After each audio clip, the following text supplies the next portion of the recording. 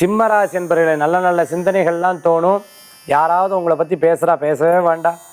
ஏதாவது வந்து உங்கள்கிட்ட மற்றவாளை பற்றி சொல்கிறா காதலியே கேட்காதீங்க. ச்சே இவ்வளோ விஷயம் பேசணும் நான் காது கேட்கலையா? இல்லை எனக்கு கொஞ்சம் முடியல. நாளைக்கு பார்த்துக்கலாம். நாளைக்கு பார்த்தலாம் ரெண்டு நாள் இப்படி தட்டி கழிச்சிருங்க.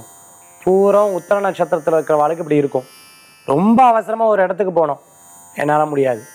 இன்றைக்கி நான் ரெஸ்ட்டு தான் அப்படின்னு சொல்லி இன்றைக்கி சிவநாமத்தை மகாவிஷ்ணு நாமத்தை குலதெய்வ வழிபாடு இஷ்டதெய்வ வழிபாடு போன்ற வழிபாட்டிலேயே உட்காந்துருக்கும் நாலு பேர் எதிர்த்து பேசினா பேசிட்டு போட்டோம். நாலு பேர் கிண்டல் பண்ணால் கிண்டல் பண்ணிட்டு போட்டோம்.